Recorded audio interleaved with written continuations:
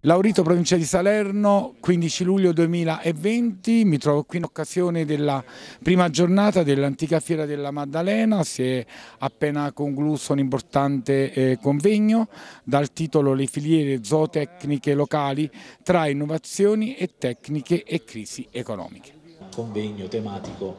eh, della fiera stessa che tocca gli argomenti che eh, sono eh, connessi intimamente all'argomento fiera. Allora come dicevo prima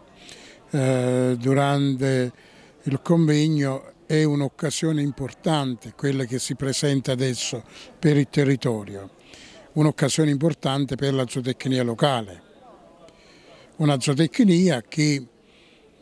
eh, se non viene adeguatamente rinnovata a quelli che sono i canoni di un'attività agricola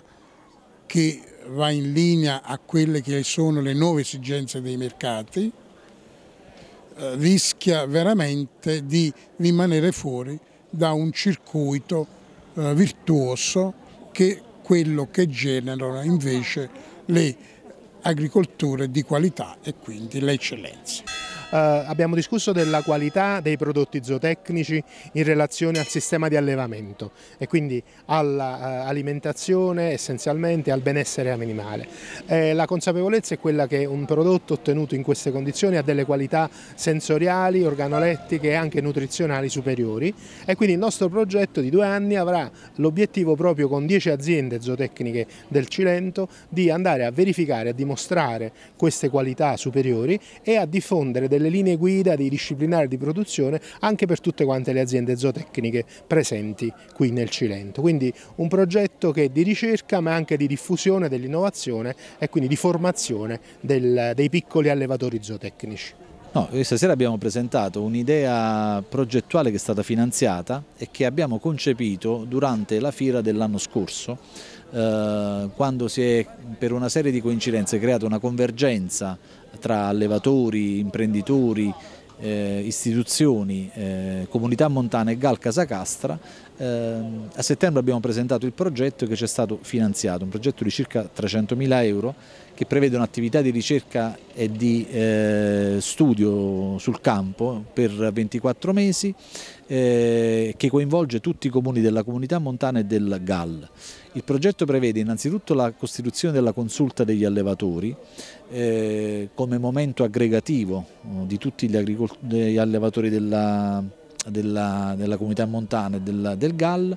mh, per un approccio come dire, eh, combinato, misto, non eh, il classico progetto di ricerca dove lavorano solamente eh, gli steggisti o i borsisti, ma un'attività sul campo eh, fatta, come abbiamo spiegato, di una ricognizione di tutti gli allevamenti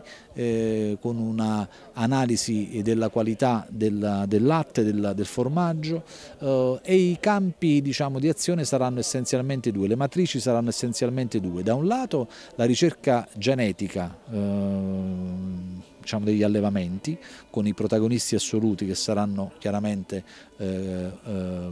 bovini e caprini, ma ci sta anche lo spazio per la ricerca per gli ovini e i suini, ma questi saranno i due capisaldi diciamo, dell'attività di ricerca, e l'applicazione del metodo nobile eh, del, del, latte, quindi la filiera del metodo nobile del, del latte. La zootecnia mm, come tale, come tutte le iniziative, credo che vada innovata attraverso la ricerca scientifica, attraverso un modo diverso di raggiungere il grande pubblico. Eh, credo che la Fiera della Maddalena, che è una fiera eh, storica, eh, possa rappresentare eh, per l'intero territorio un punto di riferimento anche per la promozione dei prodotti di qualità che in questo territorio ci sono. Um, stasera abbiamo parlato eh, di uno dei progetti finanziati tra le attività del GAL Casacastra che è una misura di cooperazione in cui entrano vari attori, entra la ricerca, l'università, entrano attori territoriali, istituzioni territoriali come la comunità montana in questo caso e soprattutto entrano oh, i produttori.